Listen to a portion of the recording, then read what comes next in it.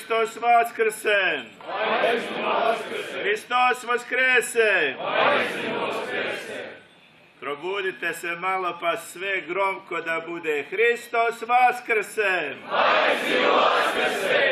Tako, draga braćo i sestre, po blagoslovu našeg oca i mitropolita i brata, da vam kažem nekoliko riječi povodom ovog svetog, svetlog i čudesnog dana. Nalazimo se danas pred jednom od najvećih svetinja, a za mnoge ona je najveća pred kojom smo ikada bili. Nekada davno kao dječak stajao sam tu sa vama i divio se ovoj svetinji ne razumijevajući mnogo toga. I danas, nakon mnogo godina stojeći ovdje pred vama, pokušavam da razumijem zašto je ona toliko važna i zašto je tako snažno ukorijenjena među nama. Čini mi se da sada znam odgovor. Naime, ovo sveto mjesto nalikuje onim svetim mjestima iz kojih izviru sva druga. Ova pećina, draga braćo i sestre, liči na onu vitlejemsku pećinu, a ovaj sveti grob u kojem počivaju mošti svetog Vasilija, liči na onaj grob koji je Josif Arimatejac poklonio da se u njega sahrani raspeti Gospod Isus Hristos. Ova pećina, ovo mjesto podsjećaju me na ono što najčešće zaboravljamo. Podsjećaju na skromnost, na smirenje, ali i na činjenicu da je iz groba zasijala svjetlost, da je Bog smrću uništio smrt i da ćemo taj događaj slaviti do skončanja vijeka, kada će ta svjetlost zasijati u našim srcima, koja nažalost prečesto bivaju i postaju kao hladna i pusta pećina. Draga braćo i sestre, Svako od nas je svjesno ili nesvjesno, u znanju ili neznanju, danas ovdje došao zato što je bogotražitelj. A šta vi ovdje tražite? Da li ste postavili sebi to pitanje? Šta vi želite, braćo i sestre? Želite zdravlje, život? Ovdje ste došli, dragi i pobožni narode, da to dobijete i ponesete sa sobom.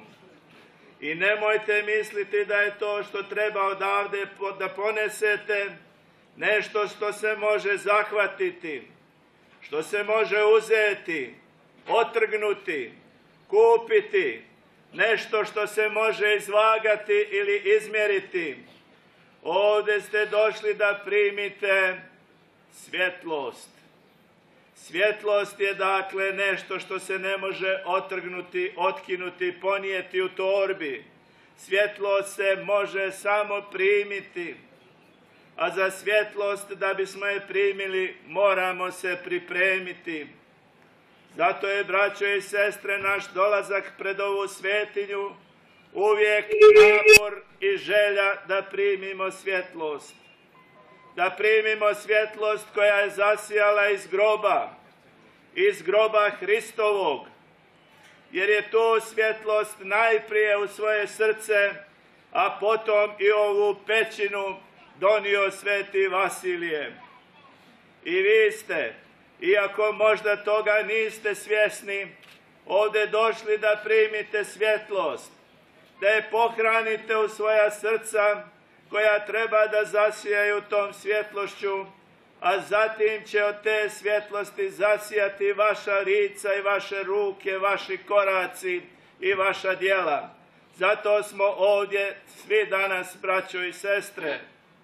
Mi smo se danas sabrali u pokajanju i u radosti slave Vaskrsenja Hristovog. Došli smo noseći svoja tijela, svoja tijelesa, svoje unutrašnje muke, svoje bolesti i bolove, svoje patnje i brige. Došli smo da tražimo isceljenje.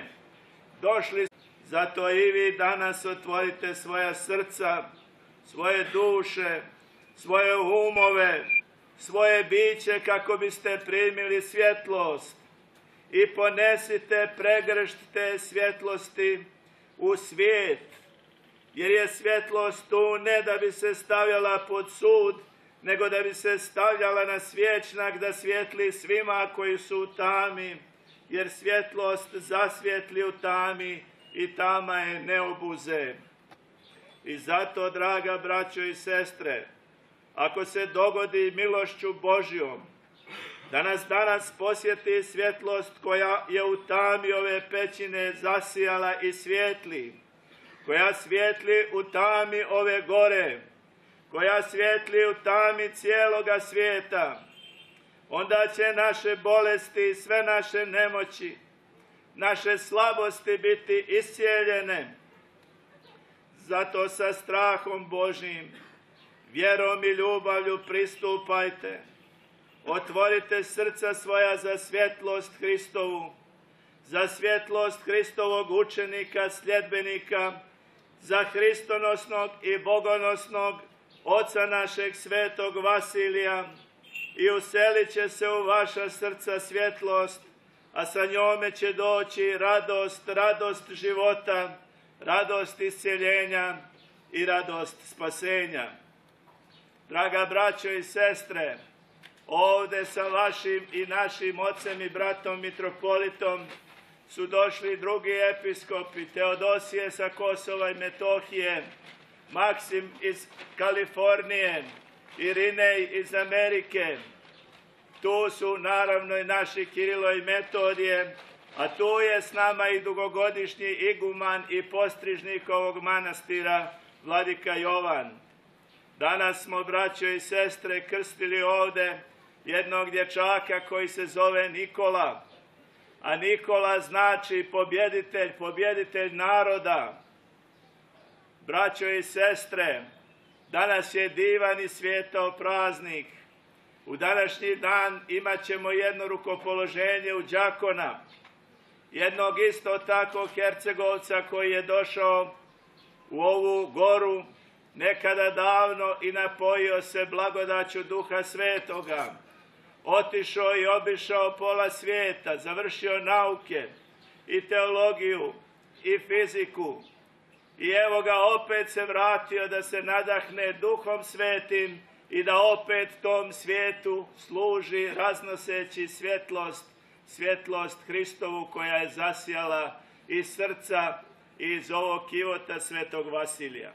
Braćo i sestre, vi stupate i želite da naslonite glavu na njegove grudi, kao što je sveti apostol i evanđelist Jovan naslonio glavu na grudi Hristove i odatle se nadahnuo, ne nadahnućem da živi dan ili dva ili onoliko koliko traje ljudski život, nego se nadahnuo da živi vječno i da bude propovjednik svjetlosti života i radosti života.